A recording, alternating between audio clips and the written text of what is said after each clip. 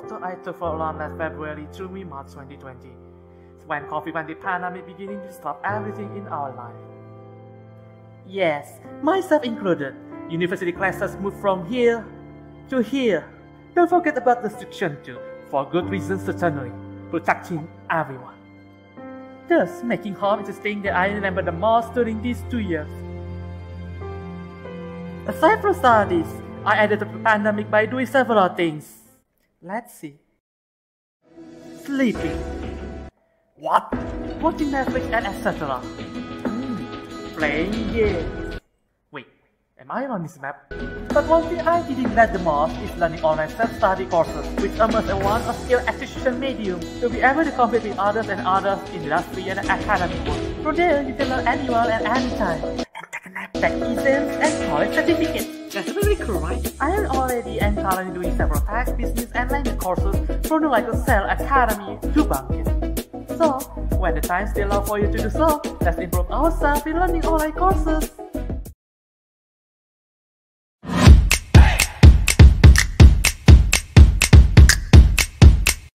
Before I go to campus, I take jogging first, near my home because pandemic situation.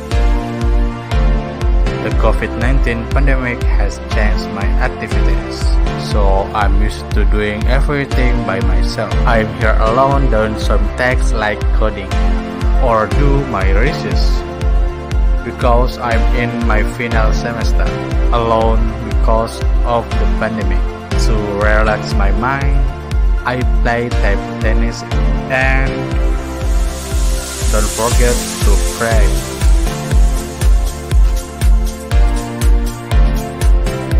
Back to home, take virtual meeting.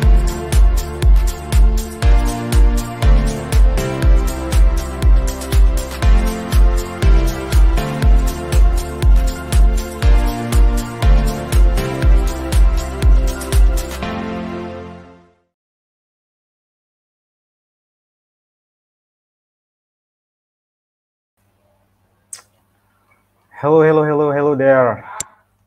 Welcome to Bangkit Guest Speaker Sessions. And yeah, before that, good afternoon, all participants, especially Bangkit 2022 beloved cohort. My name is Awal. I'm an alumnus of Cloud Computing Path in Bangkit 2021. And I will be your moderator for today's sessions. I'm feeling so honored, excited, and nervous at the same time now. I can even imagine it. Okay, if you don't mind, please share how you feel about today's sessions at the chat box. I hope everyone is feeling excited as well. Okay, before we continue, I would like to congratulate you guys on your success in reaching up to this phase where you have just completed the capstone project. Please give yourself a pat on the back. You've done a great hard work. I know it's it's really really long way so that you can end up in this phase that a lot of coding, a lot of tags, and yeah, maybe some uh, fight with your friends. I don't know. Okay, so the theme of our session today is very aligned with you guys that just finished the capstone project. The theme is Startup, Validate, or Die. Ooh. Delivered by our distinguished speaker, Ms. Mas Sandy Colondam, GoPlay content creator head at Gojek. So our session will be divided into three main agendas, which is opening by me, then we will have the presentation of our material by our distinguished speaker. Last but not least, we will have a Q&A session that you can join through our YouTube live chat box. Okay, so the purpose of today's session is that at the end of today's session, we hope what we really hope that you will learn more about how to start your own startup and what are the important things you should know before building it. So it's very linear with you guys just finished the capstone project, right? So for all, so for all the cohort, aka future founder, please put all your spirit in learning at today's sessions. Okay, bef guys, before we jump into our main sessions, uh, which will be led by our speaker, Mr. Sandy Colondam, first let us get to know our speaker today. So Mr. Sandy is content creator head at GoPlay Gojek. He also have experience as chief of operation at PicMix, social media photo apps, and his educational background is uh, he finished bachelor degree at Binus University And also, Mr. Sandy finished his study about games technology at Murdoch University. Here are some of his honors and awards. Mr. Sandy win his first prize in App Ideas category at Indosat Ooredoo Wireless Innovation Contest at 2015, and he also win at Indosat Wireless Innovation Contest at 2013, also at the first prize, and also have another amazing achievement, which is become the first place winner at Djarum Black Apps competition at 2013. So before we say much more again, so let's welcome our speaker, Mr. Sandy Colondam. Hello, Mr. Sandy. How's your day? Hello, Mas Awal. I'm feeling good. Thank you for mentioning all my achievement. I don't, I don't, I don't, I don't really like it though. People mention my achievements. Not okay, okay. On LinkedIn, on LinkedIn, it is fine because I use it, uh, you know, to impress my colleagues and then impress my uh, upcoming partner. And then by looking at my LinkedIn, and then they become convinced, oh, this guy know what they are doing, right? But to mentioning to how many people that we have right now? 2000? Around like 3000 yeah no no but thank you so much thank you so much so okay thank you mas noted. And are you excited to share your knowledge and experience about startup to Bangkit 2022 today? Because because i'm super excited today. Yes i am i am. I mean it's uh it, it is a very important topic and i believe that you guys should really really know how to apply this in your startup. So yeah i think that will be very interesting. Okay thank you mas uh, okay, guys, uh, don't forget to bring notes and please always put your full attention because this will be helpful for you to learn. And if you have questions throughout the sessions, please put them in YouTube live chat box, again. And without further ado, let's welcome our speaker, Mr. Sandy. Time and place is yours.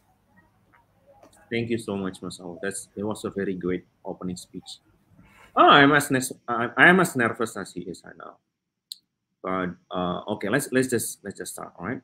So I'm going to share screen, guys, and then uh, I'm I'm so very sorry as well that I have to do this in English because um, yeah, they say that it's a default language is being used in this uh, Bangkit Academy, right? So yeah. But anytime I will, if I if I if I find it too complex to explain in English, then I'll just try to use Bahasa Indonesia. So um, Mas Awal has already introduced me. And actually about the winning of the awards that I always won the first prize, it is simply because I created a very, very good uh, deck pitch. And all of this competition that I've won, I think over the years, I think over that uh, I have won like seven or eight awards. And people start calling me like as a prize hunter. Sandy is the prize hunter. He just won. He just won the money or anything. I don't. I don't really care, right? But um, in those kind of competition, they usually have these uh, two categories. The first category is the idea only category, and the second category is they have this um, prototype kind of category. So you cannot just have an idea; you have to build something with your idea, right? I always want the idea one. I always join just the idea one because I'm not a very good programmer. Uh, that's why I don't do the uh, prototyping part. I only join the idea category. For like eight years, I joined the idea category. And I always win the first prize just because I do my deck pitch right.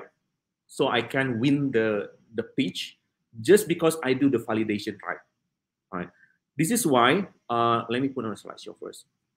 Um, this is why the topic is validate or die because during my history, uh, building a startup company, um, it has been up and down. I have been failed as well because I tried to build an apps and I tried to push all the features before even it launched.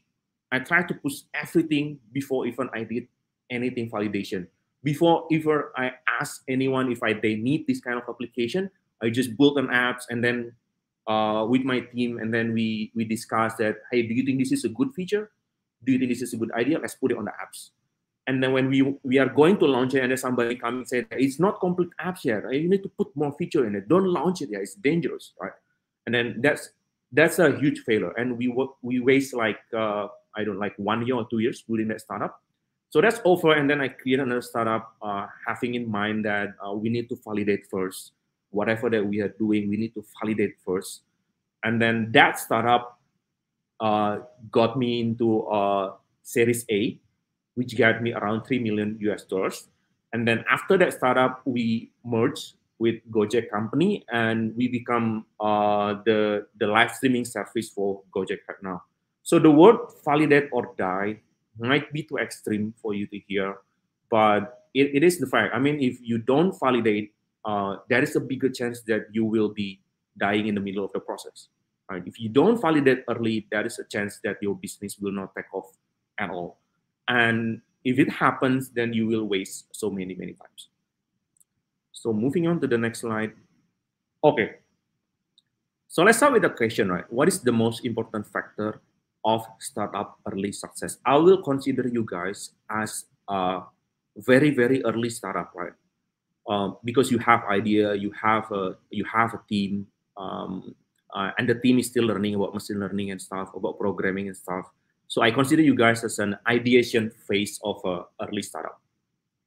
So what is the most important factor of startup in early success, right? Is it the mind-blowing ideas? Because um, maybe one of your colleague, one of your friends says that, uh, I have this a very brilliant idea. And then you reply to, wow, that's amazing. You can get like million dollars from it, right? It's a mind-blowing idea. Is it the high tech? Is it because your friend is a very good programmer? And then your designer won an award or something like that or is it because the apps has already done it's very complete packed with a lot of features and something like that? Or is it because your mom put some funding into you? Or maybe your uh, ex-boss or your your or lecturer put some money believing that you have a very good apps right the fact is it's not it's none of this right? So the most important factor of startup early success is not because of the good ideas it's not because of the technology that you have it's not because you're a good programmer and everything. But for me what is the most important thing factor of startup early success is to understand what your customer needs and wants. This is the essence of validation. Whatever you do you need to understand what your customer needs and wants before you are doing it right? It's almost the same like uh, if you are if you are a guy and then you want to get you want to be with this particular girl right to be your girlfriend right? And then what, what you're doing usually? And then you start to like analyze her be- behavior right? And then you start to understand what he, what she likes. You start to see like you start to stalk her right?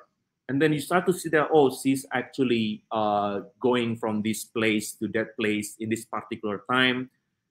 So i know so that guy will know when is the best moment to propose to her, right? What kind of gift that I should give her, right? Because he knows what the customer wants. In this case, the customer is the girlfriends, right?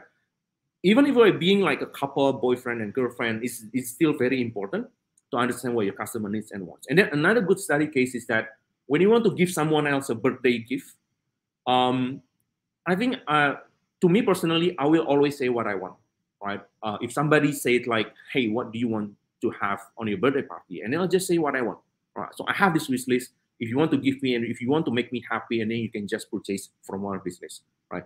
I don't need the surprise bullshit, and then I, I don't end up using the stuff that you have. So uh, it will be very appreciated if you can ask me what kind of stuff or what kind of gift do I want on my birthday gift, right? So it's important to understand what your customer needs and wants because if you do know what they want and then you will be able to deliver what they want not something else that they don't want right? So uh, select your path of adventure. Okay this is this is based on my experience uh, mentoring some of you guys. Maybe some of you guys about five teams have been mentored by me. So select your path of adventure. Are you going to be idea first or are you going to be a problem first right? Some of guys some of guys that i have uh, met and that I have mentored, uh, they tend to go to the idea first. So they, um, when they present to me, they pitch to me, and they will go with things like, uh, "Hello, Ka, uh, I have this idea. I think the idea is very brilliant, um, and this is our plan. This is our prototype, and something like that." Uh, and then when I ask, like, so what kind of problem that you are actually trying to solve, right? There's no point if there is no problem, right? Um, there's no point if you just come up with an idea first. You need to have a problem first, right? And then after the problem, then you get an idea to solve that problem, right? So the thing with idea first is that uh, the response that you usually get if you have like an idea first, um, when you explain like your idea to someone else, and then uh, those someone else will tell to you that, oh, it's such a great idea, right? You are brilliant. And if I never thought of that. That will works, right? All, all of the all of the praise, all right. But if you if you try to investigate like the problem first solution and then um, you will understand you will understand that your customer will say something like um, yeah i have this problem. Uh, this problem caused me to lose my time. Uh, i don't know how to do this. Uh, the, the current solution is too expensive and something like that. You know you get the genuine you get a genuine problem from from from uh, approaching the problem first right? But anyway it's not too late right? It's not too late guys. I know that uh, some of you guys have been go through even up to a prototype. Uh, some of you have already built an mvp as well. But it's not too late to uh, continue by investigating what the problem first because it is eventually okay if you have idea first and then later on and then you start to realize that nobody use my apps and then i need to take my time to take a look if there is actually any problem with my idea right? Okay, so this is what I'm going to go through. And to be honest, this is my first time presenting this kind of uh, topic. And it's really made specifically for uh, Bangkit because I know that you guys are a very early startup uh, scene. So that's why I think this is this is very important. If you have any question, you can just put it in the comment. I will uh, reply to you later. So the first, the number one thing that is the most important that define whether your solution will be good, whether your business will be good, whether your idea will be good, is how painful the problem is. Like how how you know how bad the problem is. How many people that is impacted by this problem. Right? This is a this is the core of the question of the validation. You, you need to know how painful the problem is. Okay, so I have this diagram that I took from the internet. And this says that uh, intensity of a problem or pain uh, is defined by this table, be it an important and not important, and urgent and not urgent. Important means something important and urgent means something that is very very painful, something that you have you have to do right. I think I uh, hold on. I create some examples of uh, what could be fall into important and very urgent. So for like like for example, like it will be very painful if you, for example, you got an accident, you got a motorbike accident, and then you broke your leg, it becomes very important, it becomes very urgent that you go to the hospital, right? Or for example, in, if you are in the highway and then your car broke down, right? And then you have a car, but you don't know how to change the tire, it becomes important and urgent that you know how to change the tire or you know how to call somebody that does, right? And then another example is that um, it becomes very important and urgent if, for example, uh, you're, you're creating your, your scripts here, right? And then your laptop hard disk just got broken right? And all of data on on that on that on the folder disappear or something like that. It becomes very important and becomes very urgent that you find solution to back up those files right? Otherwise otherwise you will probably be dying or be very very frustrating right? And then the the the uh the second one is actually the not important um but, but urgent right? Is for example that um um you have to pay your credit card bill on time, right? Uh, if if somebody, if you borrow money from somebody that you have to pay them, you have to pay them on time, right? It's not important for you, but it is in fact urgent, right? And then another thing that is uh, important but not urgent, so it's important but not urgent. Not urgent meaning that you can do it anytime else, but it is important that you have to do it, right? Some example is that like if you, uh, for example, if you graduate from university and then you have to find a job, right? It's become a, for some people, it might be important and urgent, but some of the other people, it become like, it is important, but probably not urgent, especially if you are still in your first year of uh, in uni, right? But if you are like in the last year of uni, it become important and urgent that you need to find looking a job as soon as possible, right? And another thing, another thing is that uh, all the administrative all the administrative process, like if you are trying to create a passport, right? They have you to fill all this long form, bring your kartu keluarga, bring your KTP and everything like that. It's a very tedious process that you have to do it, right? It's not urgent, but it's important that you have to do it. And the last one, can you guess what is the last one? what kind of activity that can fall into last one the annoying part that is not is this problem is not important it's not urgent it's not a problem at all uh, it falls into annoying. It's actually games. It's actually mobile games. Right? it's not important. It's not urgent. You will not die if you don't play games. You don't you will not die if you don't play facebook and instagram or something like that. Your life will be okay without them. But it is right now the situation is that is that it's uh it's annoying. This kind of thing is is is, is annoying you know. If you if you cannot access them um it is okay but you'll be annoyed can you imagine if facebook down or maybe you are using or you are an, an avid tiktok users tiktok down you will be annoyed?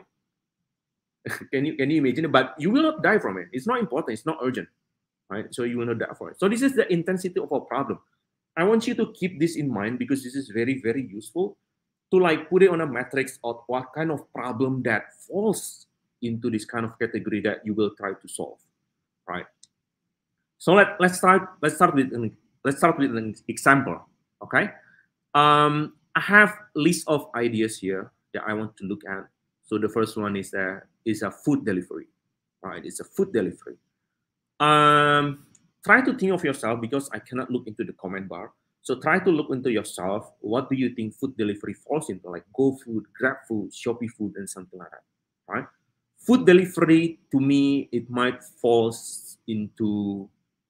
Um, it is actually kind of falls into not important and not urgent, right? You can actually go to the store by yourself, right? So it's not really a, a problem. And then traffic jam with 50% delay, it becomes like uh, important and not urgent, perhaps, because you know that you can. Uh, in some cases, it might be urgent as well because you might be coming late to the school, you might be coming late to the uni. But again, it depends on the intensity of the delay that is caused by the traffic jam.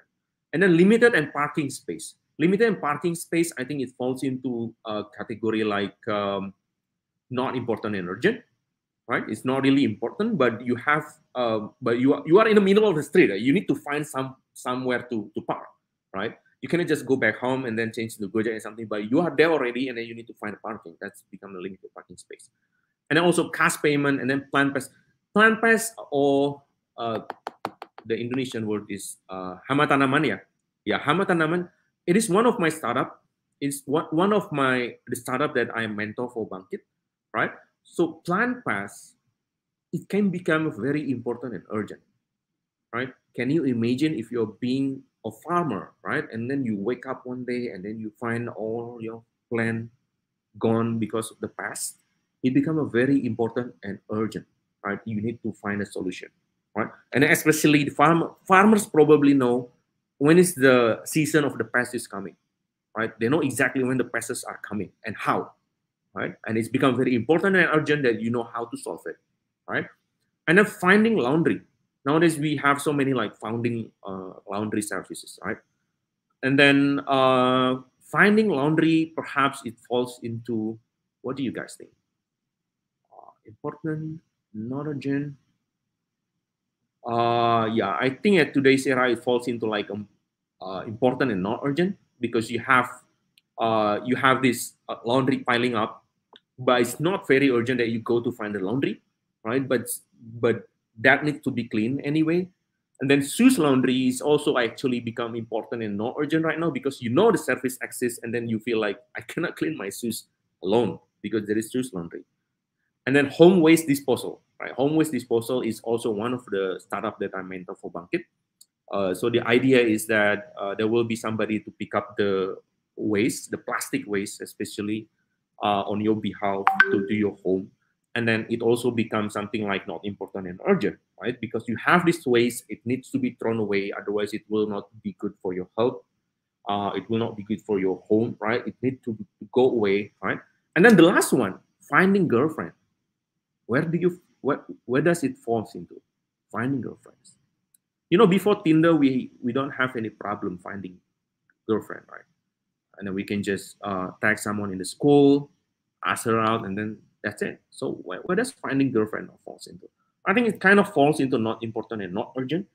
But there are so many ideas that is actually not important or urgent. If you ask me, and then in your heart right now, then how become how come Facebook become very popular? Right? It's not important. It's not urgent. How come uh, games become popular, right? Not important and not urgent, right? I will, I will explain to you later, but those kind of things, you can, you may build them, but you have, you have less chance to be success versus if you build something for important and urgent problem, right? So we have this example of the problem.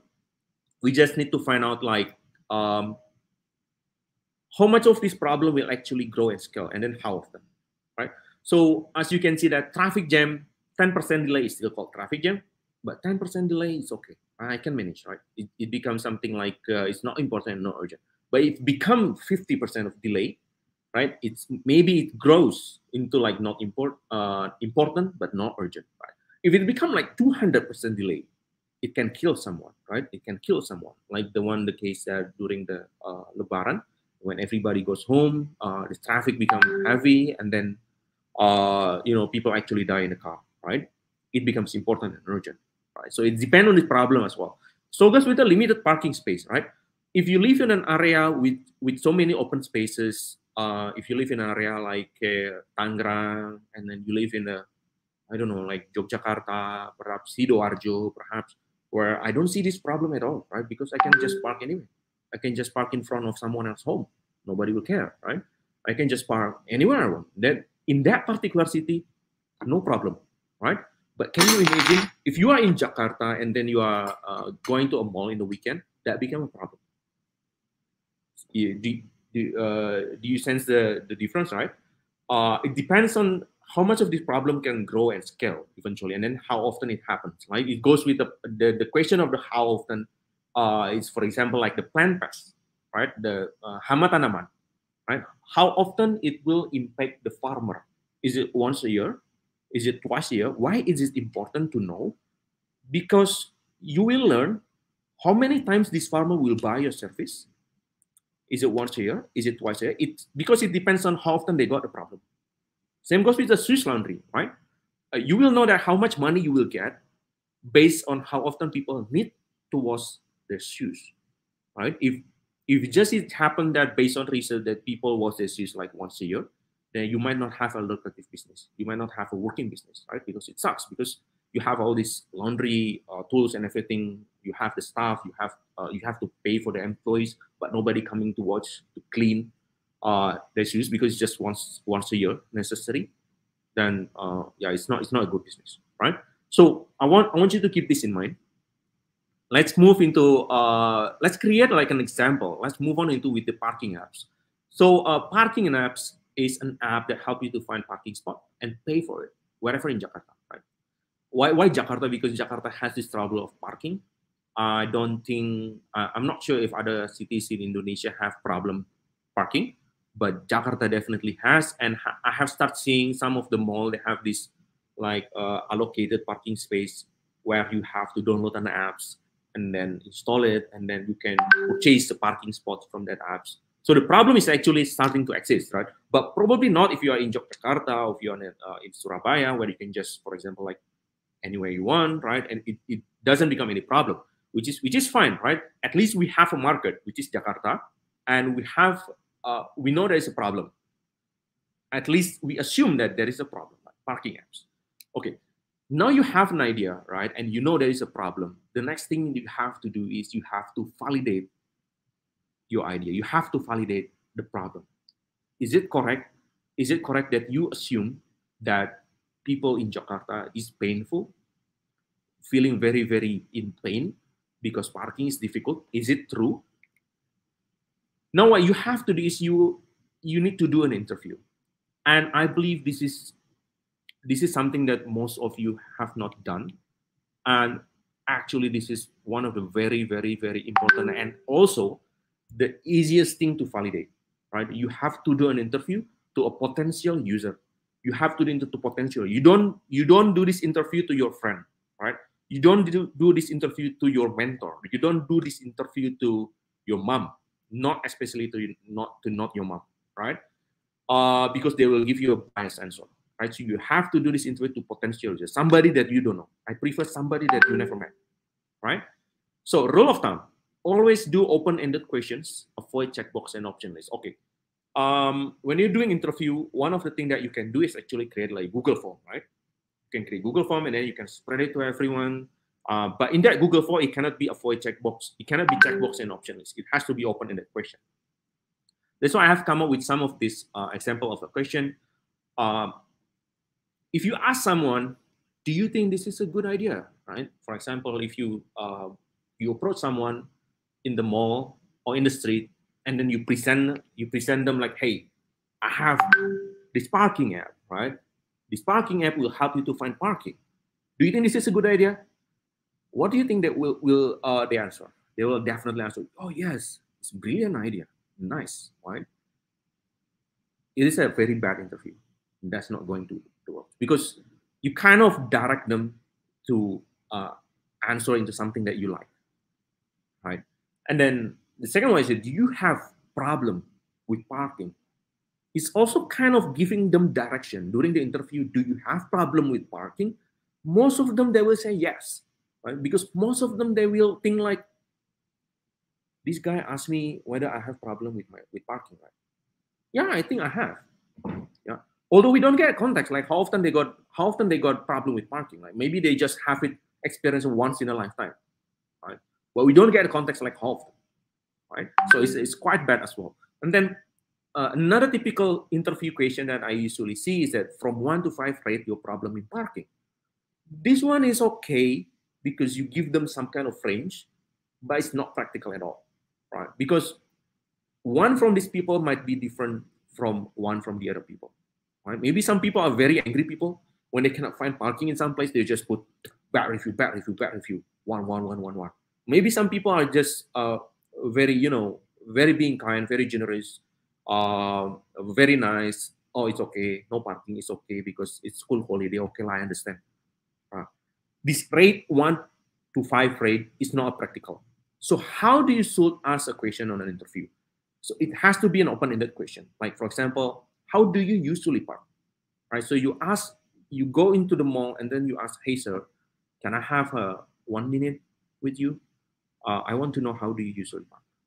That's it. And then he will he will just he will just answer. Right? He will just start um, telling you about the experience of parking. Right? He will start probably telling like, um, uh, yeah, I went I went here on the weekend and then parking is a bit parking is a bit busier. It takes me about like uh, 15 minutes and 20 minutes to find parking right? And then you can you can continue with, is that a problem for you, sir? Oh yeah, yeah, that's a problem for me. Now that yeah, you find a genuine problem, you find a genuine user to be interviewed, right? And there's the second question that is good one is the when is that problem occur? How often? You can ask this question, right? So we know that this guy has a problem. We just need to ask them how often it happens, right? Oh, okay. So you uh, how often you go to this mall, sir? Right? Oh, I go to this mall like once in a week, right? So we can assume that he has this problem once a week, right? And then we ask them any other question like, what do you do to solve it? Now, this is very interesting. So we try to ask them, see if they already have a solution for this. See if we don't do what has been done before by some other apps. So we ask them, what do you do to solve it? You know that you have a parking problem. You know that it takes like 15 minutes to go to this mall and then find a parking. You know that between this hour and this hour the parking will be usually busy. So how do you do to solve it right? He might probably answer things like uh yeah i'll just come earlier then right? Because earlier parking space is still empty right? Maybe he will come up with another thing like but if i come earlier then store has not open yet so no point coming earlier because i cannot do anything in the mall right and then you will start to sense there is a problem right this is very important. If you do an interview, you always do an open-ended questions. And then be, be careful of false positive answer when doing interview, right? There is a book, if you're very interested in this um, in this uh, topic of uh, doing a natural interview, doing uh, trying to get an honest uh, answer from an interview. Uh, the book is called The Mom Test. You know why is the mom test? Because you know when you ask your mom if you are handsome or not, what she will reply. 100% she will say to you that you are handsome. In fact, if you believe in yourself you are ugly, you will your mom will 100% will tell you that you are handsome. right? Same goes if you ask your mom, mom, I built an apps for this Bangkit Academy. Do you want to hear it? Your mom will hear it. Yes, absolutely. And then you will ask the question, Mom, do you think this is good? Do I make you proud? Yes, son, this is very, very good. I think you will be rich with it. That's that's what mom does. So the book is all about it. The book is trying to avoid you into a mom, mom children kind of questions, because if you create a questions like that, uh, people will not people will be biased, and then uh, people also has an urge to lie to you, right? Um, uh, I had I had this experiment as well uh, when I tried to create a survey. Um, it's a very basic survey of asking how much money that you create, how much money that you make, right, in a month, right? The first survey doesn't ask you the name and your uh, phone number. The first one. The first one just asks you like uh, you can type in anonymously and it just type how much money that you make in a month. The second form, the second survey, ask your phone number and ask your name as well. You know what happened on the second form? On the second form, there are many people that lies, right? Because they know that this form is associating with your income and on your name. Maybe we don't know, right? Maybe uh, this is some kind of company that will give you a bonus if you have this kind of income, right? So I'll, I'll just lie in the form, right? So it's very important that you have this kind, you, you know how to do this in interview, right? So you can find the genuine problem uh, from your users. Okay, so we have this um, we have this uh, problem matrix, which is very important. So the next time, uh, I think you can start thinking right now, the problem that I'm trying to solve is actually this, and then oh, it falls into not important and urgent. Uh, it is okay. It is okay. Uh, we have a way to find how to solve at least from the market perspective as well. But uh, I hope you get a sense of it you know there is a problem. Let's just assume that you know there is a problem. The second question is that how big is the market, right? How big, how many people that has this problem? It is very important as well. So uh, I have on the left, I have list of uh, solution. Right? I have list of ideas, and then on the right, on these columns, I have four things that you need to analyze. Four things that you need to know to define how big is the market size, right? Okay, let's see on the on the left one, limited parking space. We built that parking app earlier, right? And then we uh, understand the market profile. Who are they? Who are the people that will need uh, our idea? Who are the people that have this problem, right? Is a CBD worker, is a white collar worker, pegawai, gitu kan And then mall visitor, people that visit the malls. And then, and then market size. How many of them? How many is this worker? How many is this mall visitors? And then we learned that um, there are only 400 parking space in the mall, and yet the mall sees 1,000 visitors with cars daily. So there is a problem, right? There are not as many as parking space as people coming to the malls, right? And then does the market grow? Is the people having this problem? Is the people having problem with parking space is growing? Yes, it is, right? Because the parking space remain the same, it doesn't grow, but number of cars grow 10% every year. Right? This is not the fact here, guys. So you cannot quote on quote me on this. Uh, this is just uh, me trying to put some numbers on it. So don't don't quote me on this. But parking space will remain the same, land will remain the same, but number of people born into this world is growing, and people will not need to look for like uh, home and then something. That's why price of home, price of apartment, they're growing, right? Because the, the demand is growing as well and the supply is remain the same. And then market share. Market share means is there any other apps that have the same solution? Right? Is there any other solution that solve the problem other than you? Is there any other app that help this customer, existing apps that help this customer to find a parking space? Right? You can put it like I don't see other apps doing this if you don't really know. All right. Another example if the for hama tanaman, uh, plant pest, right? Who are they? Market profile, farmer, right? And then market size. How many, uh, how intense is this problem for this farmer? Like for example, like 35% crop failed due to pest every month. Is an example. And then how does the market grow? So how um how the how big is this problem will keep evolving. So uh, the fact might be like pests are evolving and getting stronger every year. So that's why the farmer need constant knowledge on how to solve the problem every year, right? And then also, uh, is there any other apps that do the same? Well, there are other apps, and it has 1,000 active users, right? It goes on, it goes on, and then into find the last one, right? Finding girlfriend, right? What are the market profile? Market profile is probably those guys that is jomblo, right? Age-wise, maybe it's um, you know, age-wise is that critical kind of age that uh, your mom and your parents keep pushing you. You have to get married. You have to get. You have to get married. Otherwise, you will be scratched from the KK, kartu keluarga, right? Or maybe because of a peer pressure, right? Your friends around you that have girlfriend. Hey, I have girlfriend. I have girlfriend. You don't have girlfriend. I'll pity you. Something like that. Um, it become problem, right? This jomblo it become problem. They need to find a girlfriend like immediately, right? Otherwise, I will be very very shameful, right? And then there is is there a market? Yes, obviously there's a market size. right? we can uh, we can come up uh, like how many people out there is actually jomblo and looking for girlfriend, and then it, will the market grow? Yes, as more people are born, and the market share. Now this is interesting. If you think you believe that you have a very great idea, right, and then you start to look on others, you start to look at is there any other one out there that has done the same? Tinder, WeChat, etc., etc., etc right? Why why I have to mention this because um, can you imagine if you try to build an apps that try to compete with Gojek? Can you imagine if you have to try to build an apps that compete with Tinder? Right?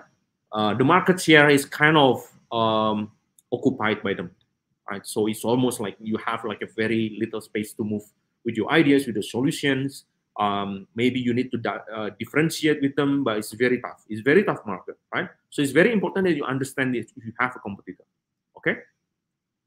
So we have these uh, examples. Uh, how we get it, and then how to find how the big market is. This one is actually this, this time very easy. Uh, during the problem, finding the real problem, you need to like uh, go interview the people. That's what you have to do. Go interview the people but if you want to know like how to find out how the big market is, one of the thing that you can do is actually you just Google it. Right? I want to know how many people have problem with the home waste disposal. You can just Google it like um, jumlah sampah domestik. Right? Or if you want to build like uh, girlfriend finding apps, you can just find um, berapa orang jomblo di Indonesia.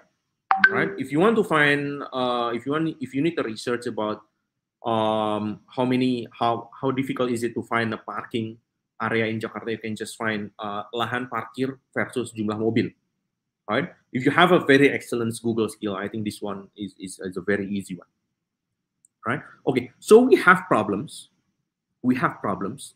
So we know that, oh yes, uh, we have we have a certain problem that we need to solve and the market is big, right? Let's just assume that we have problem, we have the market the next one is how much the target market willing to pay, right? It's no use that you have a huge market. It's no use that you have a problem to solve, but nobody wants to pay for it, right? Because in the end, startup is about, you know, uh, scaling and trying to sustain. And by meaning of sustaining needs money, right? So if you don't have money, uh, you will become like a CSR kind of uh, startup or you need the money to grow your, uh, to pay for yourself, to pay for your meals, right? To pay for your something. So it's very important that uh, you have a problem, yes. You have a big market, yes, but you need to question them again how much that you are willing to pay for your solution. Okay, so how do you find out? How do I know if uh, how much that um, you will pay for my service, right?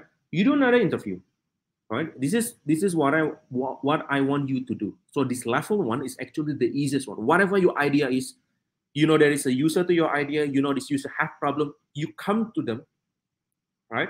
You come to them and then you offer your service without giving them presentation without giving them apps to show without giving them like this design i have this awesome design. No. You just ask them the solution immediately so for example, in this case of a parking app, you can go into a people, maybe these people, they are still in the car, they are still, you know, going back and forth into the basement one, basement two, basement three. After 15 minutes, they haven't find it. You knock on his car, right? You knock his car. Hey, sir, I can help you find parking 15 minutes from now. How much do you want me to pay for that? Right. You got a validation. And then you they will they will ask you, right? I will pay you 10, 20,000 rupiah if you find me parking right now. Right. And do you know who has done this kind of service? Do you know? It's tukang parkir. Right? What, what do you think tukang parkir does in our Alpha Midi Indomaret? Right? It helps you to get into the right parking spot. Right? He has a business. He has a problem. The problem is that people find it difficult to find a parking spot in a very tiny Indomaret or Alfamart parking space. Right? He will help you. Right? You go into like uh, you want to go into like this cafe, right? And then the parking spot is very very busy, right? And then you see this mas mas parking, and then you ask, hey mas, uh, cari parkir dong. It's a solution, right? It's a problem. I have problem, and this mas mas parkir they have solution, right? What this mass mass parking does is actually a solution that can worth millions, right? But they're just he's just doing it manually without any digital solution, right? But they have proof it, they have validated people need it, right? And then they will help you find the parking area. Mas, mas ini itu parkir depan rumah itu aja nggak apa-apa kok. Saya kenal orangnya, right? And then you will give them money, right? So that way we know that people will actually pay for your service, right? If you have another example, um, uh, let's go back with that finding girlfriend, right? Um, maybe you are familiar with term like mak comblang, right? and then you can say like i will find the right girlfriend for you if you give me 100000 will you pay for it or not? And then he will probably go oh 100000 is too expensive. I'll just go find a girlfriend. And it's okay right? And then you lower the price right? I will find you girlfriend if you give me 50000 right? And from that point you know how much are these people willing to pay for your service right? You don't need to create a deck you don't need to create like an apps. You don't need to create you, you don't need to create anything. You just you just selling them the, the athlete and then asking them how much you have, uh, you want to pay if i help you with your problem. That's it. That's a level one. That's a level one. That's the easiest thing that you can do. And i very very uh, and i urge you to do it right? After this after this webinar i want you to go to your uh, uh, customer right ask them i will help you with your problem right now. Right now how much do you want to pay for that? Right? and then you will get you will be saying like oh, 1000 2000 3000 you keep it right? You keep it. And then i will tell you later on how does it, it, it will impact the sustainability of your startup. And then the level two. Clickable mockup. This is i think this is the uh, this is the phase you are in right now right? You are you need to create a clickable mockup right this one is also very interesting, right? For example, I create a very simple uh, UI here right now, an app, a parking app. When you open a parking app, it will kind of detect your location, and then it will say uh, something like, give you sense of an urgency that, oh, if you're looking by yourself, and then you will need like this minutes to find parking space right now, right? And there is a button that says find parking now for as low as one dollar. This one is just a clickable mockup. It's not a real mockup. So what you have to do is you bring this mockup right? You have you you bring this UI, you give it to someone that it needs, right? And then see his reaction. See his reaction. Don't direct them like, oh, click on that, sir. Click on that button. You needed to click on that button. Don't do that, right? You need to see her reaction. You need to analyze, like you have to watch uh, where where the button, where the finger is going, and then uh, he will probably read it from up top. He will be reading like unit approximately to find parking space right now. You're currently at Grand Indonesia Mall and then find parking now for as low as one dollar, for example. And then maybe before he click on the find parking now, he will, he will, you know, you will sense that, oh, he's thinking now, right? He has a problem, but when I say that it start as low as one dollar, he is thinking. So is it too expensive? Is one dollar is ten thousand rupiah too expensive to help you find parking? Okay, so you revise your mockup and then you change it into like uh, find parking now for as low as 5,000 rupiah. And then you, again, you show them, don't direct them where to click. And then you just uh, give them and then you uh, observe them, right? And then you see that that guy click on the find parking now. It's a, it's a mockup, right? And then when they click and then it, it probably show that, uh, thank you, sure, you, you just uh, help me with my validation. It is okay. it is okay but at least you know now you know that that guy with the problem with the parking, they are willing to pay 5,000 rupiah for your solution. That's the level two. Level two, clickable mockup. And then the level three is PO, purchase order. Right? It's a practice commonly used by e-commerce, uh, UMKM e-commerce. They need some money to build their business. And it's not actually just that. They just don't need the money. They also need the validation. Will people will people actually pay for my ideas? Right? For example, if you go into a Kickstarter, there are tons of websites, there are tons of games, there are tons of concepts that have not finished yet. Right? Some of them even just an idea phase. They don't even have like an actual product to show. They just have an idea, they sell an idea, and then they ask money. Right? That's a validation. That's a validation. So if people look at the idea and then they are willing to pay for purchase order, you cannot lie on purchase order, right? Because you have to pay first. You have to pay first. There is not like uh, PO ya mbak, tapi bayarnya setelah terima, bukan PO namanya gitu kan ya. Cuma beli gitu kan, ya namanya PO ya bayar di depan, right? So PO, PO purchase order means that you pay in advance, right? Why? Why will you pay in advance? Because you think it's a it is a good deal. Because you think the idea that is being offered is very good. And from that point of view, you know that there are like 100 people that have purchased order my service and they are willing to pay this much, right? And then you know when the product is released and then you know how to price them effectively because you know you have this experience that people is willing to purchase for that amount of money, right? So that's level three. I highly encourage you to do just the level one, right? But since you are in level two right now, it might be a good idea as well if you bring your UX and UI, your Figma, your mockup, and then you present it to your user. But never again, in case of level two, never direct them where to click.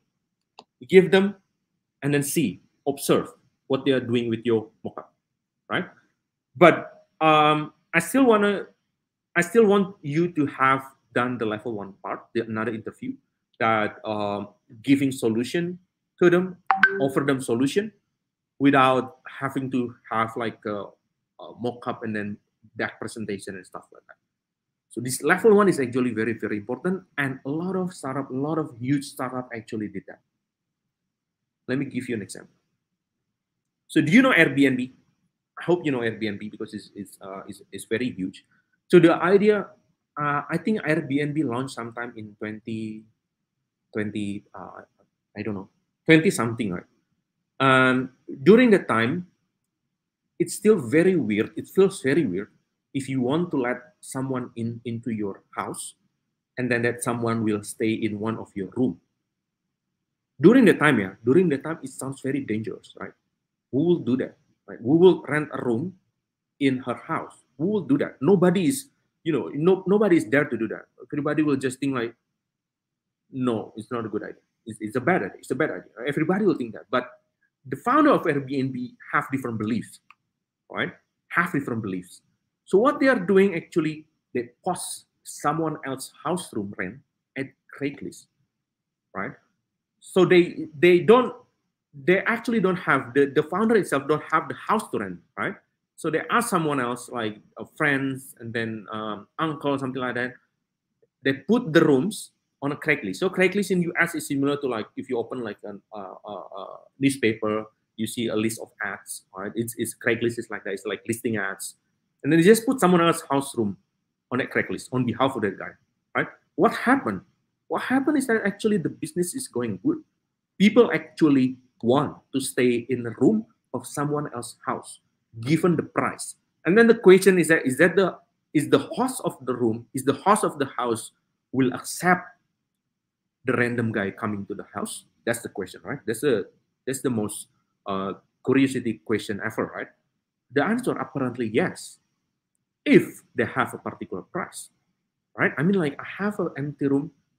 Uh, I think I will calculate my risk if I invite somebody into my room, but I got this amount of money that will can diminish the risk, right? So what they're doing is actually they put it on a Craigslist, and then once the demands become once the demand grow uh, uh, the founder of airbnb cannot hold it anymore cannot do it manually anymore by phone and everything like that they start to automate email to all persons selling homes in Craigslist and offer them to rent the room in Airbnb instead. That is a very genuine, that is a very genius uh, approach to growth hack your company. What they are doing is they email all persons selling homes in Craigslist. So like they uh, see ads like people selling their house. So they convince them instead of selling your house, I'll give you this amount of money if you can rent one of your room in my websites. And from then on, Airbnb become one of the I don't know unicorn or I think bigger than that, right? And then another one is Pebble. I'm not sure if you guys know Pebble. It's a smartwatch. I used to have one and I love it very much because it's kind of a smartwatch that doesn't die every day. Like, you know, if you have a fancy Apple Watch, it dies every day, right? You need to recharge it every day. But Pebble use some, some kind of technology. Uh, I think it's called e e ink that uh, you, you need to charge it once in every seven days. Right? So that's a very that's a very good product. Right? They had a great idea, but they didn't have enough money to scale up their production. So what they are doing is actually they go into a Kickstarter, right, and then raise money from Kickstarter from the purchase order mechanism. Right? From there, they got the validation people actually want to pay for my watch for like fifty dollars. Right? And then they start building the production, and then when they launch, they launch it slightly higher than $50. They launch it like $60 or something like that. But at least, at least you know that how much people will pay for you for that. So I hope you get the, I I hope you can relate all of this, right? I hope you get the, you know, uh, benang merah from this. I hope this makes sense, right? Uh, the recap is the intensity of the problem. It indicates urgency to pay for your service, right? If it is a very urgent and if it's a very important problem, you will want to pay immediately right? For example, if you um, if you uh, got a motorcycle accident, right, and you broke your leg, right, it becomes very urgent and important problem, right? You want to say that I want to pay no matter how much, as long as you save my life. It's a life and dying situation. You want to pay for it. It indicates the urgency to pay for your service. If your service is not very important, maybe people just think, yeah, okay lah, I will pay lah, pay, pay, pay a little bit only lah. Right. And then the second one is the willingness to pay. Right. You have a problem, uh, and then you you need to check like uh, how much people are actually willing to pay. Right. Willingness to pay will indicate sustainability of your business, of how long your business will survive. Right. And the market size and share will indicate scalability of your product. How big will uh, how big is your market? How big is your audience? And then how many of them will actually pay? Right. So there is again two example here. Uh, this is an example of nice to have. If you have a problem that is nice to have, if there is this kind of solution, is it's okay. If there is not, then it's it's okay as well. I don't really need it. And a willingness to pay because it's not so important. I don't want to pay too much for it. All right. And then lastly, the market size. And then we check on the market size, and it says uh, on, only my village, probably only my family need this kind of solution. There is a it's a bad one. It's a bad business. It's a bad business right? Compare it if that uh, I'll die if I don't have this, right? This kind of solution that I'll die if I don't have this. Uh, and then you will put them into station that I will pay anything for the solution because if I don't pay, I'll die. And then few people will need this. Be, even if it's only few people, but it's a very important, very urgent, and the willingness to pay is high, it's a good solution, right? Okay. Next slide, I try to make it more sense into your business so uh, if it's a nice to have problem, then it has a low probability to purchase, right? People might not purchase it. Even if they purchase, they will just purchase for 10,000 rupiah. And the potential of market size and share is only 1K per person. 1K person, right? So potential revenue that you have is 10 million per month. Okay, you start you uh, you start to do some calculation, right? Okay, I pay myself 2 million. I pay the programmer 2 million. I pay the designer 3 million I pay to rent the office 5 millions. I need a 15 million per month, right, to run this business. If you see this kind of projection, uh, the willingness to pay is very low, the market size is very small, then there is no point to continue the business, right? Unless you pivot, right? Unless you uh, find something else, unless you try to target another problem, unless you find that there, there's so many unless, right? There's so many uh, idea that you can navigate from this problem, right? But this is very important because I think what makes a startup fail most of the time is that when they realize after they build an app for like one year or one and a half year, when they launch it, they realize that nobody uses apps. Right? Nobody download my apps. Right? They um, they believe that when I launch this app in Google Play, and then many people will download it, many people will pay. That's what they believe. But they never do any kind of this validation. They find out that nobody is using. And even if they use it, if they download it, nobody's paying for it, right? It, it's it's too expensive. It's uh, nice to have. I don't need to pay it, right? So the startup bound to fail like that. And then the, the, the better solution, the better uh, startup one is that um, the one that I'll die if I don't have this kind of solutions. Um, so which means that it has higher probability to purchase. And then um, the willingness to pay is also very high. Like for example, it's, it's actually cheaper product, but the willingness to pay is high. Like uh, it's cheaper, but people want to buy it very much, right? Um, and market size is also big right? So you have a problem that has a very high willingness to pay and then have a very huge market size. That will give you more potential revenue for you. Okay, so what else do I have? Okay, so I think I have, um, I hope I did make much, myself clear with some of these, uh, how much the target willing to pay, and then how big is the market, and then uh, how painful the problem is. So what I what I really want you to do is uh, start talking to your team, start talking to yourself, what kind of problem that you are actually trying to solve, and then um, do that interview with the users, right?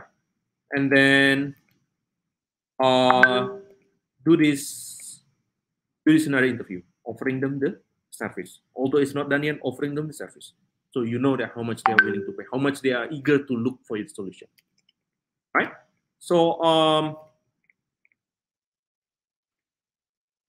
All right, okay, so footnotes, right? Footnotes. So I have these three icon on the screen. The left one is the painkiller, the middle one is the vitamin, the third one is the narcotic, right? So uh, you can put down in comment what kind of apps is painkiller, what kind of uh, vitamin, what kind of uh, narcotics, right? Painkiller is an app that you desperately need, right? It's an app that is very disastrous if you don't have it, right? It's an app that, you know, uh, if you if you don't have it, you will not be function. You will not function at all, right? It can be like uh, let me see what I have in my phones right now. See if I have an app that I cannot live without.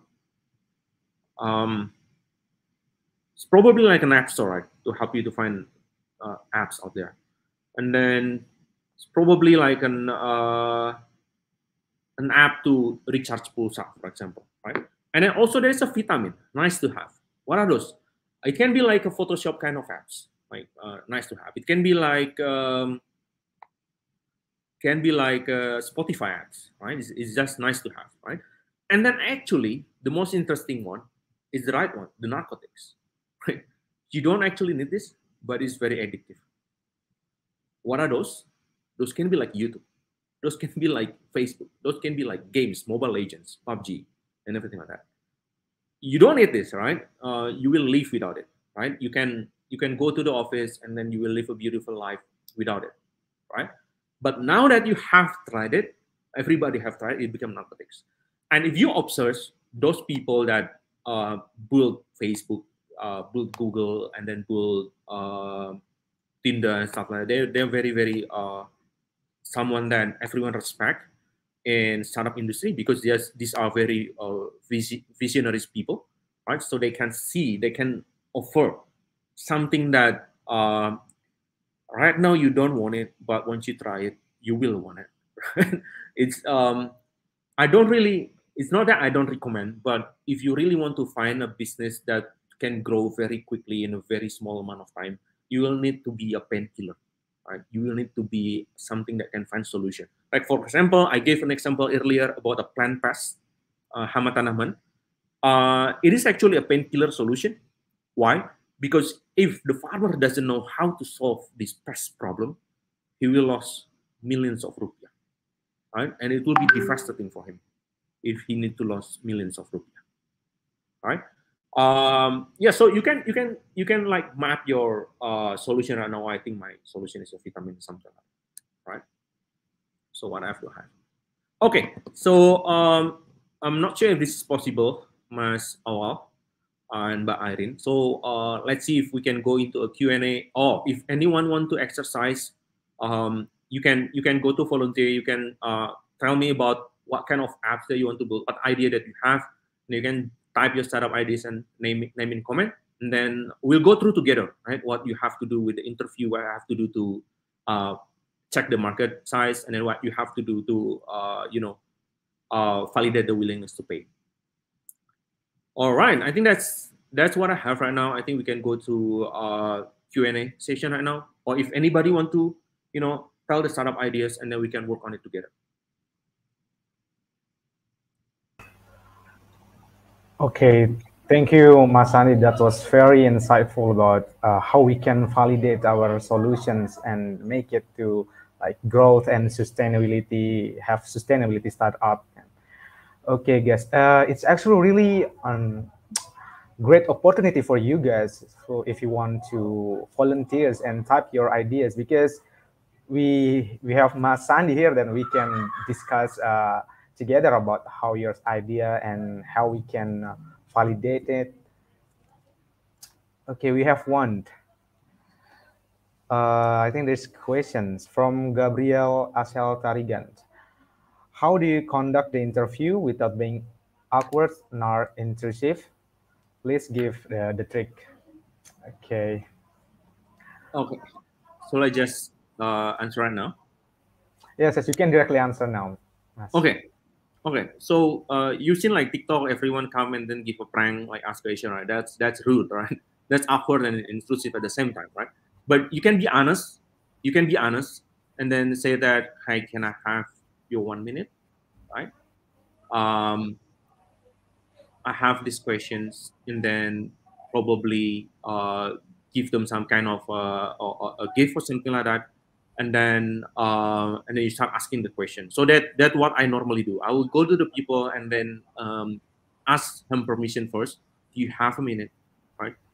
It will be tough. I know it will be tough, but it will be tougher if you just uh, barge in and then ask question right uh, hey, I have this solution and blah blah blah blah blah. That, that will be that will be more that will be more intrusive, right? So you need to ask or you need to ask permission first. Hey, can I have uh, 30 seconds of your time, right? And then of course the other thing that is very important is you have to dress uh, nicely, and then you have to uh, okay, and then um, do you know do you know why uh, WWF uh, they have uh, you need to observe here uh, you know, in, in, in the malls, usually they have this WWF. They will approach you and then ask question, and then they will bring some uh, papers and then pen. That's actually a very bad practice, right? Because they have uh, paper and pen.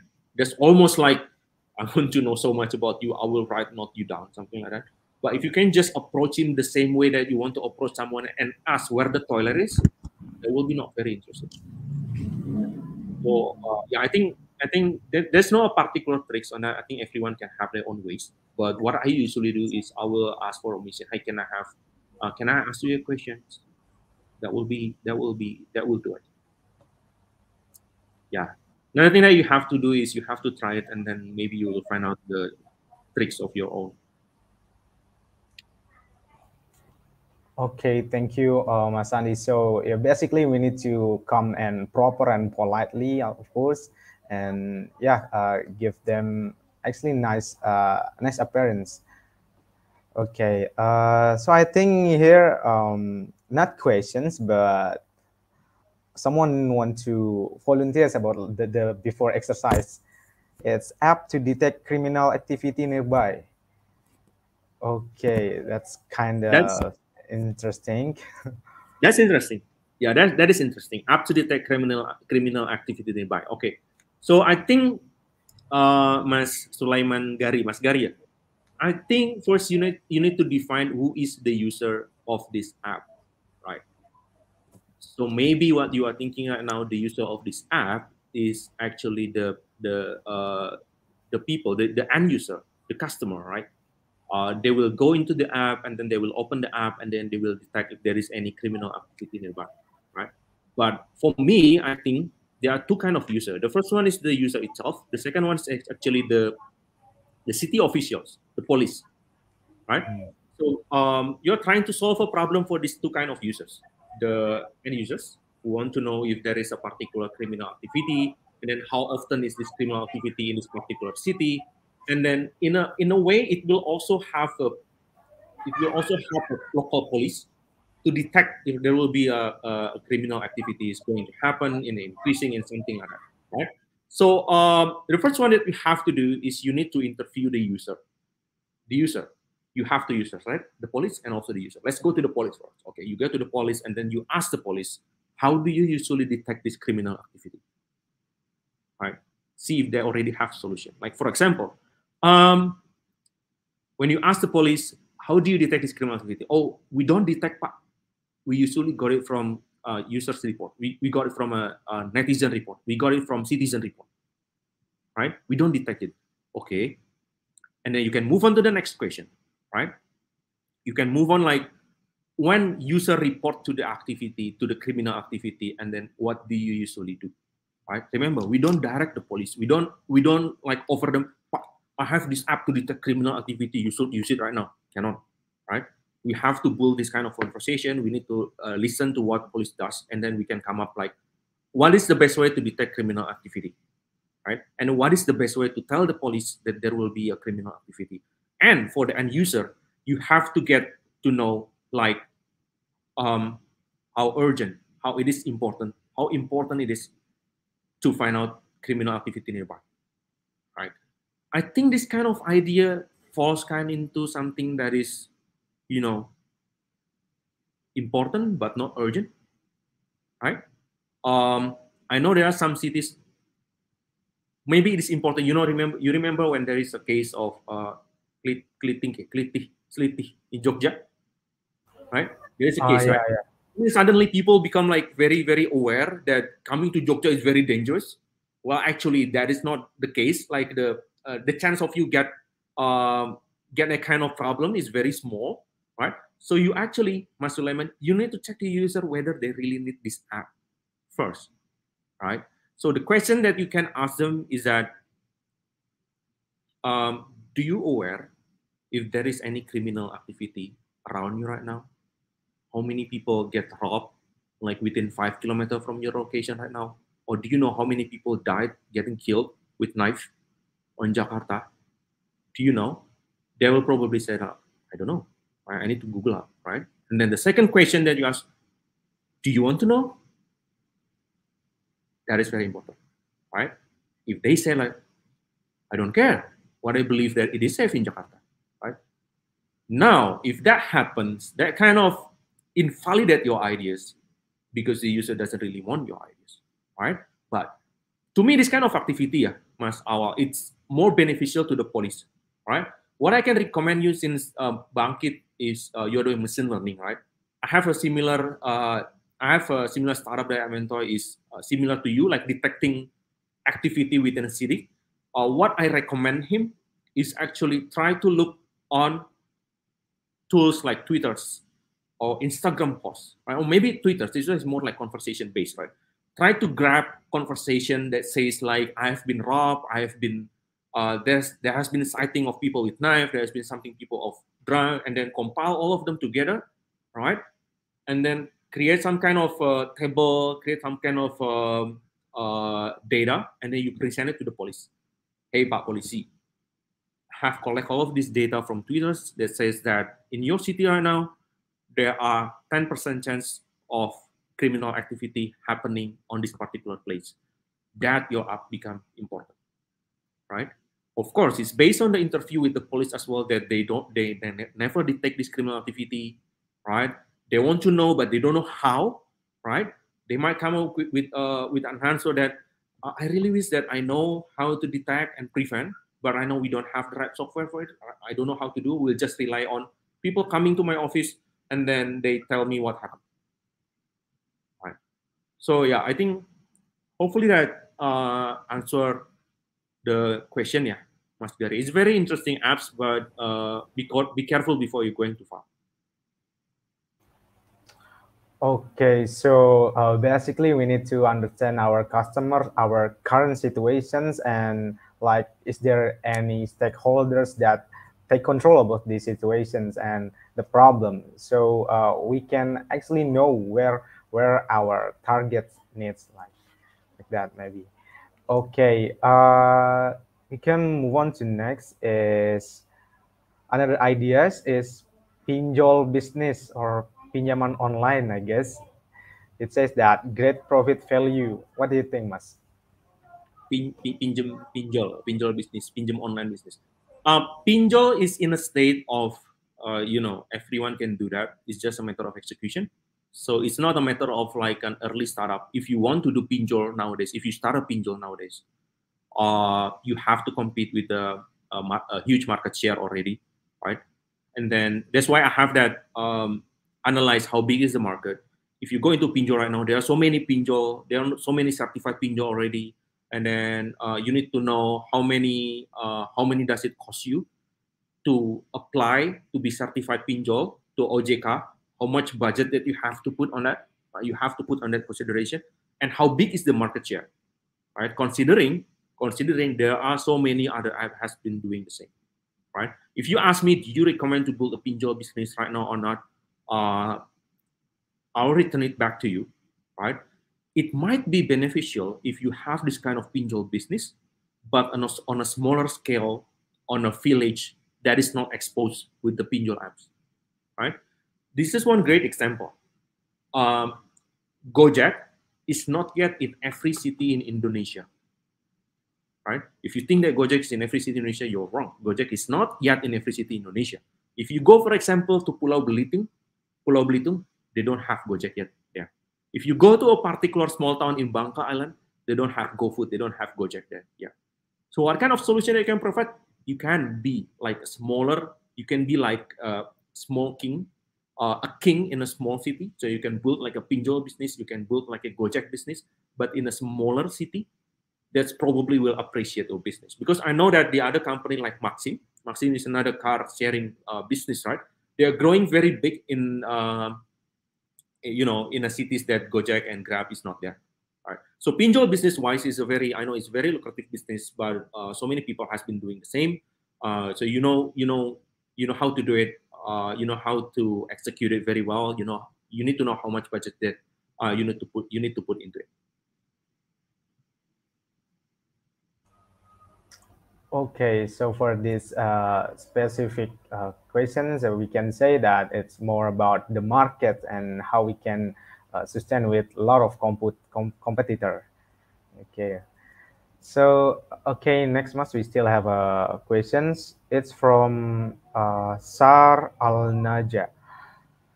Okay, um, if we have a startup how can we manage to fulfill our clients' wishes and demands with such limited resource? Fulfilling clients' demand is important for a startup image. Okay.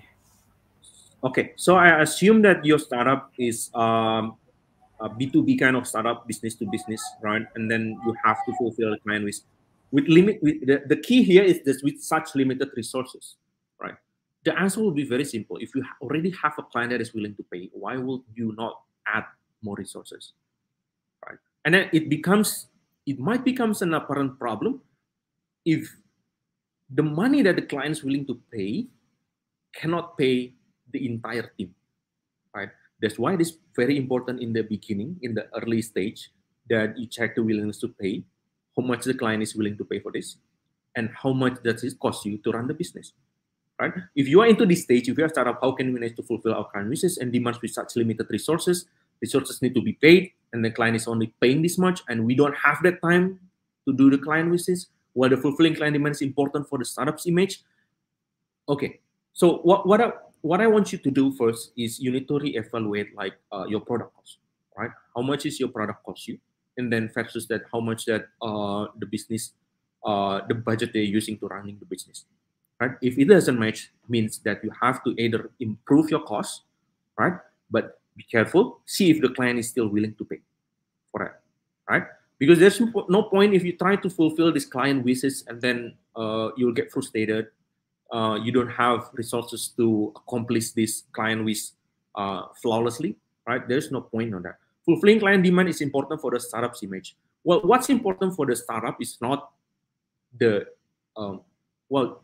Again, it depends on the business here, but to me, what, what's important is not the image, but the important is the business around it. Is that how much money that you can get versus that how much money you will spend to get that money from the clients. In this case of a a B2B kind of business. Okay, uh, thank you, Mas. So for this is like we Maybe have to align. Uh, one more thing, Mas Awal. I will I will add something to that to that question. Um, let me give you an example that like uh, nowadays there are so many software houses that build websites, right? Websites for clients, right? And the prices keep going down, going down, going down because there's so many new graduates, so many people uh, good programmer, they graduate, they can just build a website for our clients, right? So what you can do to compete with their kind, you know, you have been running a business for like two years, three years, you are established company, you have 20 people, and then you have to pay for the building and stuff like that. You cannot just simply compete with uh, undergraduate just graduated, uh, working from home with a very low uh, budget, right? So what you have to do, you, you, you can build like a trust to your clients. You can build like um, uh, you can convince the client, hey, we have been doing businesses for like one years. Uh, we have been doing business for like five years. Right? We are just not the new kid in the in town, right? We know what we are doing, and we can give you guarantee that you will, uh, we, uh, you can trust us, right? So this is another thing that can kind of uh, help you to fulfill your client wish. Uh, if you are afraid that you are losing competitor. Okay, uh, thank you, Mas. So uh, we need to align our operation budget and uh, how how much customers' willingness to pay, so that uh, the our solution can still be sustained. Okay, we still have uh, another questions. Okay, uh, next is from Andika Bahari uh, have you ever been at a point where you thought that your validated idea isn't your idea anymore? If so, how do you feel about that?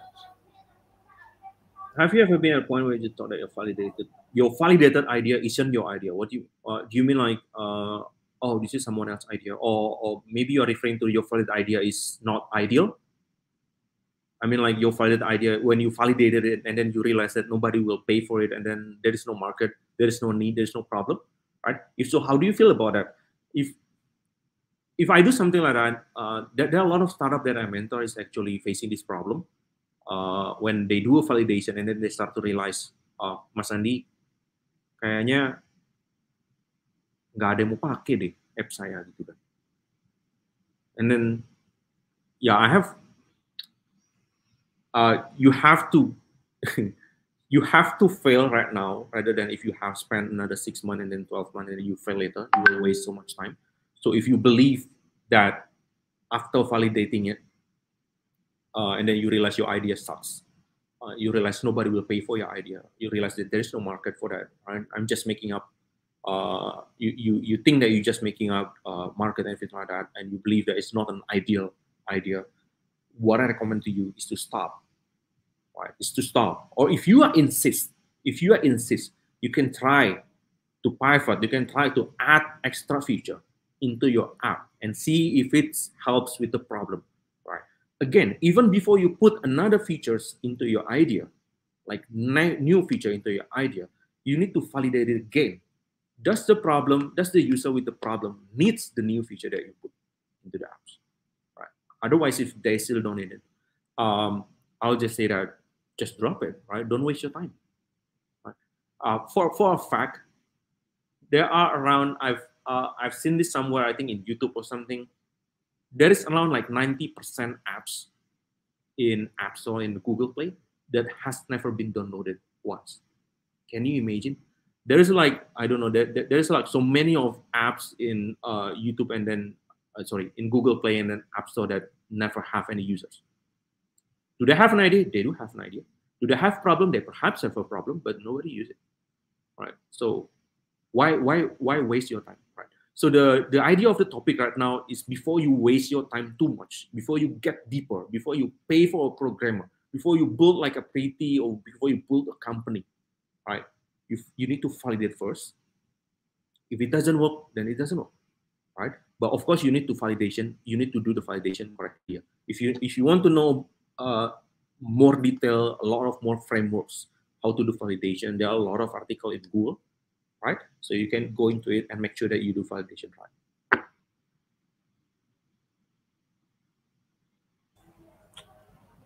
Okay, uh, I hope that answer your questions, uh, Andika. And if if it's not not just like pivot or not, your your ideas have no point anymore. Okay, so we're going to next uh, questions from Apriza Zika. How to convince users that our idea is better than similar idea in existing apps? Interesting. All right. So the first thing is that you don't convince the users, right? Because if you convince, it becomes the job of a marketing, not not not uh, not a startup anymore, right? If you try to convince that our apps is, is better, um, you might get a user that way. But if your apps is actually not any better, then that user will be gone anyway, right? So again, back back to square one. Um, first, if you know there is an existing apps, and then you have to uh, realize you have to apa sih istilahnya ngaca gitu kan ya you have to ask like what what kind of things that my apps done that is better than the other apps that's first don't don't go to the users first right go to yourself first what kind of feature that i have that the other apps doesn't have right so there, there, there will be need to be clear differentiation on that. There will be need to clear like a unique value proposition unique value proposition is something that you only have, like an apps the feature that you only have. But again, this particular feature that other app doesn't have, you need to validate first, right? You need to go to the user, not to convince them, not to convince them, but you need to ask a particular question about the new feature that you just have added, right? For example, we have the we talk about the parking apps, right?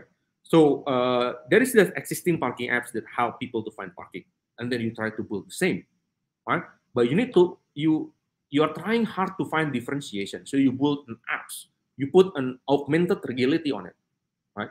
You put like uh, after you park your app, after you park your car, and then the application will uh, record where you park. Right? So you will remember where to go back, right?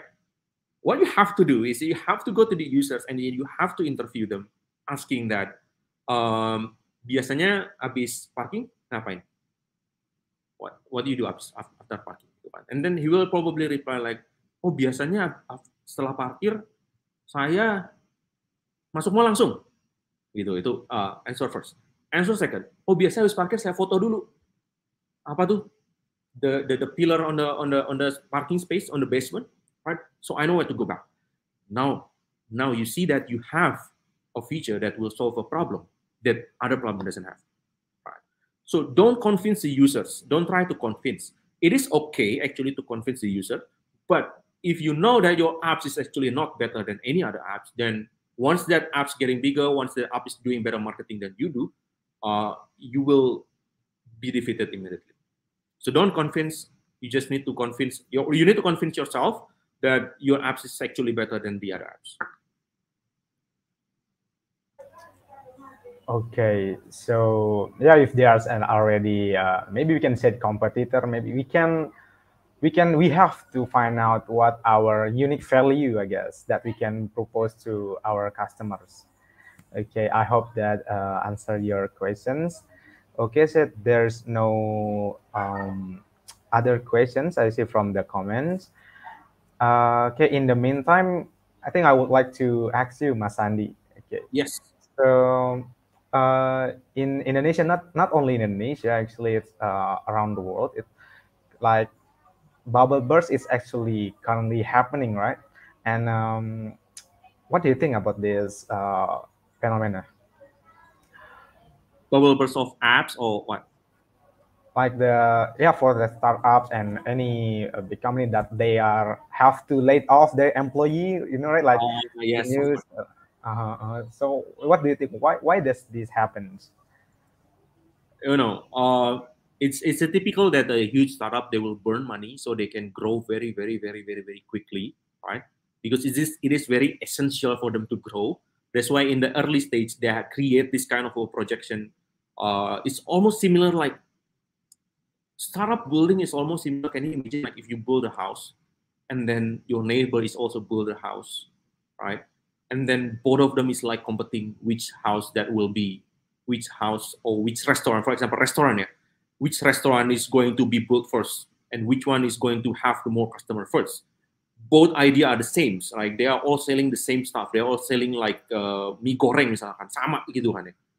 What you are doing is actually you try to put a lot of smart people. You try to pay a lot of people to get the business running very quickly, very fast, right?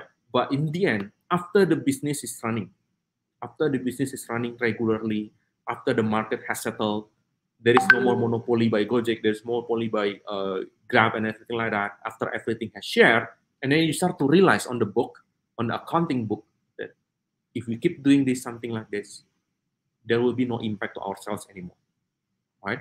So we have to minimize our uh, risk. We have to lay off some of the employee, and then we'll see that there will be no impact to our revenue. So these guys right now, they actually start to realize that if I reduce number of resources, it will not impact our revenue too much, right? They, they are not going to just lay off everyone if they know that it will make them go down, right? They are very careful on what kind of service they have to go, they have to go down.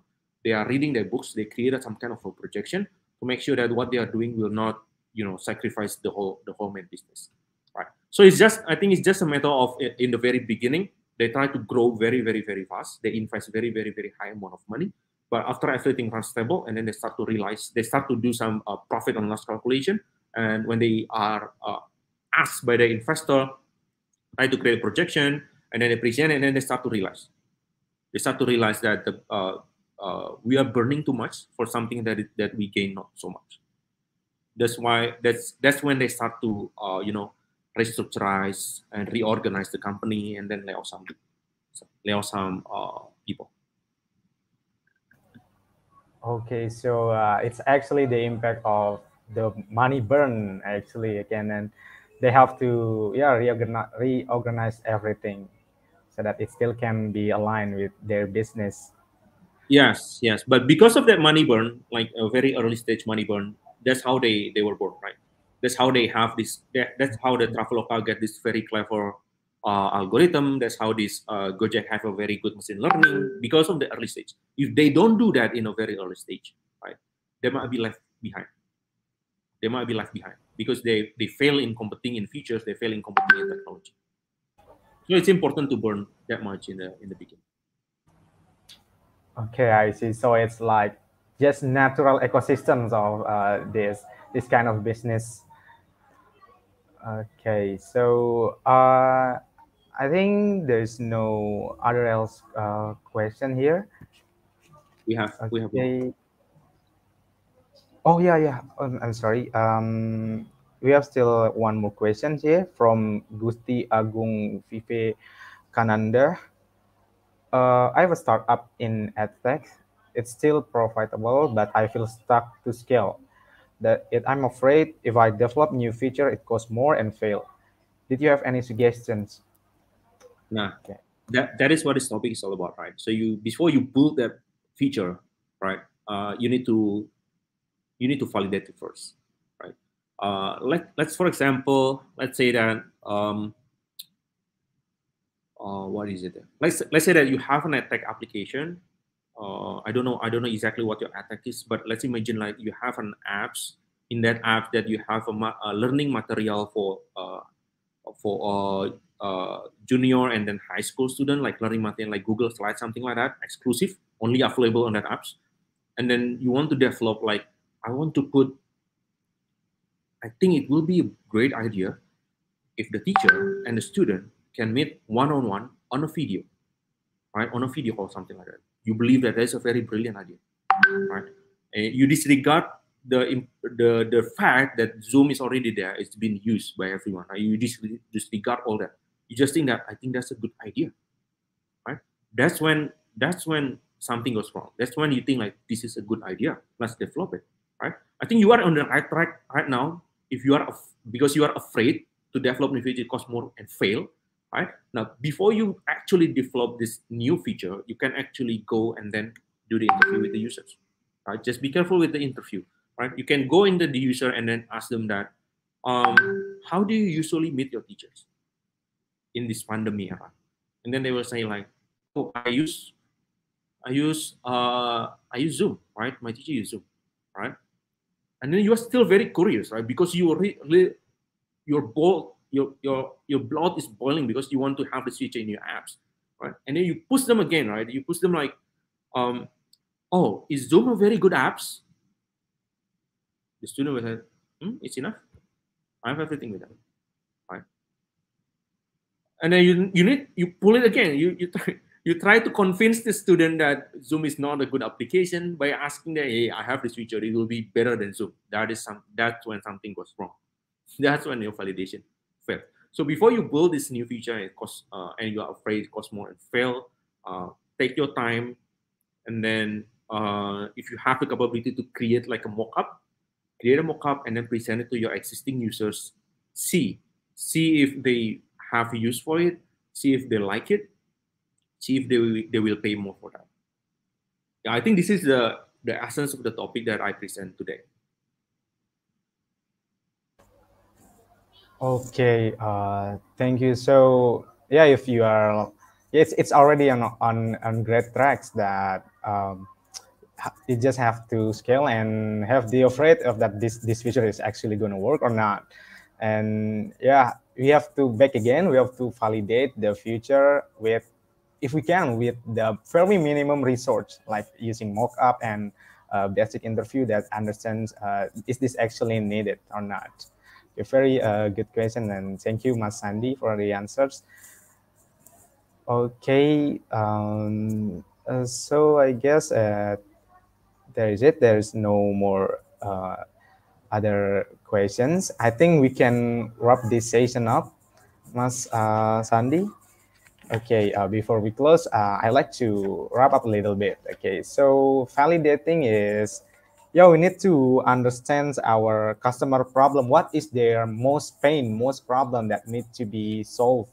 We need to understand the uh, importance and the urgency of their their problem. And then uh, yeah we need to understand uh, how how our solution can be sustained at the market and how much the willingness of customer want to pay to our solutions and last one, maybe we can, we have to understand how big the market and where is our positions in this market. Okay, I think uh, that's what uh, wraps up everything. Uh, oh yeah, okay guys, uh, don't forget to um, fill out the attendance form through the link in YouTube live descriptions for all the Bangkit cohort of 2022. And uh, once again, I want to uh, thank you for Mas Sandy Colondam for being an amazing speaker. And we have heard so many knowledge about startups from Mas Andi, and it was very insightful. And we finally understand that to become innovators or founders, we have to validate every single things. If not, nothing else but dying ideas left. Okay, uh, once again, uh, all participants, please fill out the attendance form through the link in this uh, YouTube live descriptions. Okay, uh, before we close the sessions, Mas Sandy, uh, did you have any closing speech, uh, one or two words for Bangkit 2022 cohort? Anything that can help them improve their solution or helping them to pursue their dreams, maybe? Um, yeah, I just wish the best of luck for you guys. So then don't get, uh, be be encouraged, uh, because what you have been doing up to today is a great stuff uh, you might not if you have a if after this topic that I presented right now, and then you validate, and then you find out that uh, share that Mas Sandy presentation make me go down something like don't be discouraged like that because it's uh, uh you know during during my life as uh, uh, on on startup I think I failed twice I failed three times and I wasted like I never say that I wasted time but I always say that I learned something from it to not to not repeat it again, right? So don't be discouraged if you fail. Don't be discouraged if you don't pass Bangkit. Uh, don't be too overconfident if you pass as well. But the key is don't be discouraged if you fail because uh, there are so many things that you learn from failing. I, I just uh, I never regretted that I failed. I always be very thankful that I failed, so that that way that I learned a lot more. So the best of luck for you guys. Thank you so much, Mas Awal. Okay, uh, thank you so much, uh, Mas Sandy. Uh, that's that's very uh, encouragement for every student. So don't don't afraid to fail. Just uh, like it says, uh, fail faster, and yeah, you will learn and grow faster. Okay, I think uh, that's all. Once again, thank you, uh, Sandy, for the insightful lessons. Hopefully, everyone here can take a good note from today's sessions. As moderator, I'm apologize if there's uh, some issue during the sessions. And I'm Awal. See you at another session. Bye bye, guys. Happy weekend, everyone. Bye bye.